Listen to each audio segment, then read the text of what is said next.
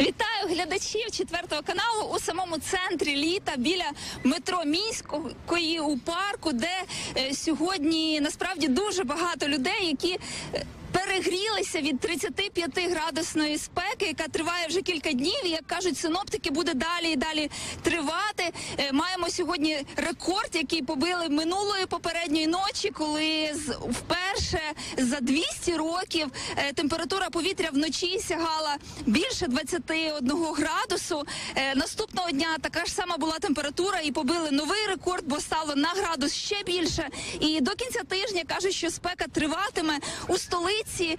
е, Встановили ось такі брами щастя, брами відпочинку. Так ми їх називаємо, тому що насправді кожен, хто заходить цю браму з водою, з холодним легким душем, виходить набагато щасливішим, бо набагато легше себе почуває. Е, Ми дізналися про те, що таких брам у столиці вже встановили 15 і плануються нові встановлення. І місцеві мешканці кажуть, що.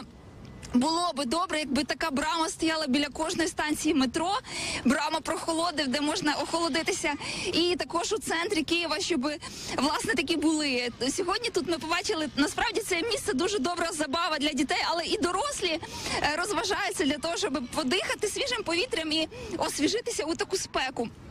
Відомо, що цей прогноз е, 35 плюс це цей тиждень і ще трошечки пару днів. Тобто через два тижні ми будемо дихати більш прохолодним повітрям. Але якщо навіть 27 чи 28, то такі от е, конструкції будуть актуальними. Тому я йду випробовувати, розкажу, як буду себе почувати. Залишайтеся на четвертому каналі.